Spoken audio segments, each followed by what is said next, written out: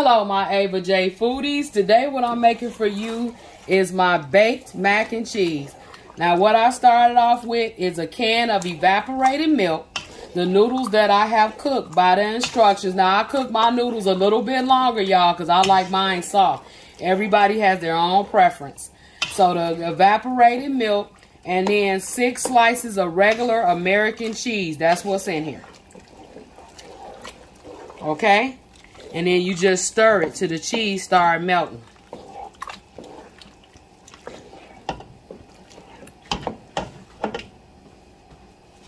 Next, you're going to add your cheese in. And the cheeses I use is Colby Jack and sharp cheddar. These are the cheeses I prefer in my baked mac and cheese.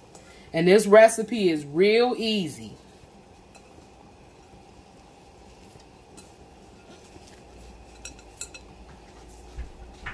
Is my one pot mac and cheese. You just mix everything together into one pan.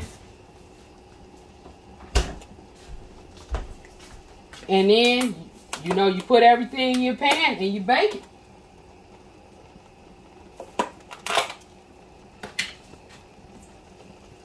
Next, you're going to add about a cup of sour cream. I don't really measure it. I just kind of eyeball it what I think a cup is. Okay? Then you stir. Stir everything together. Look at that, y'all. Look at that cheesiness. See how easy that is, y'all?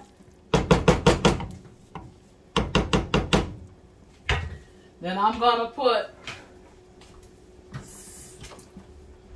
another can of evaporated milk in mine.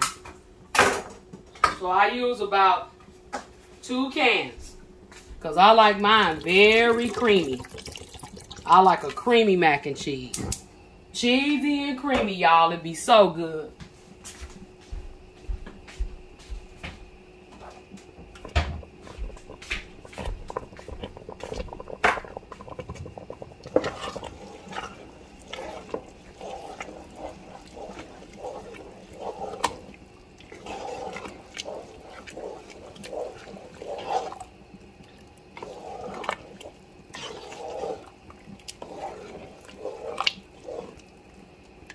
See how creamy that is, y'all, and cheesy?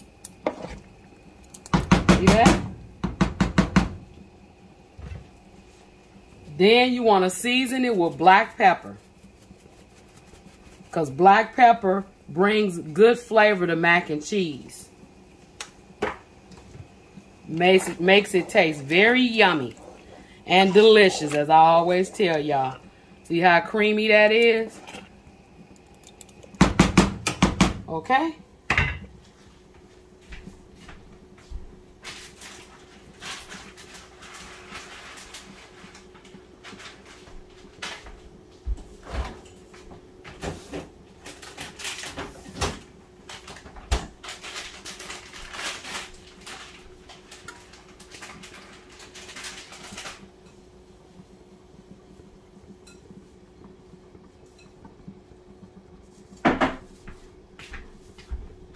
Next, after that, y'all,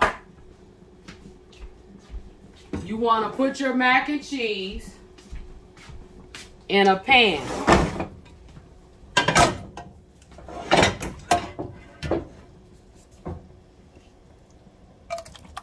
Look at that, y'all.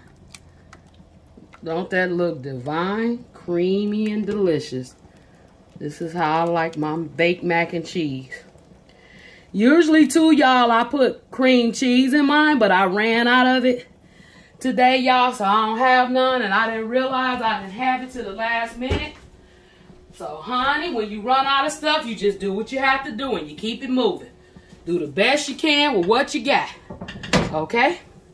Then, to finish it off, you want to top it with sharp cheddar, and again, a mixture of our Colby Jack. You want to top it all off. You can never have enough cheese in baked mac and cheese. Y'all know what I'm talking about? This just makes it even more cheesy and delicious. So this is an easy recipe for my Ava J foodies out there, y'all. This is how I make my baked mac and cheese. Real simple and easy, y'all. You do everything in one pot. From one pot to the pan, in the oven, and you good. You want to bake this on 400 for about 25 to 30 minutes till the ends are all crispy and bubbly and brown. And the cheese is gooey and delicious. So to the next time, my Ava J foodies, I hope you enjoyed this video. Don't forget to like, share, and subscribe. And hit that notification button for new videos every week. Bye-bye.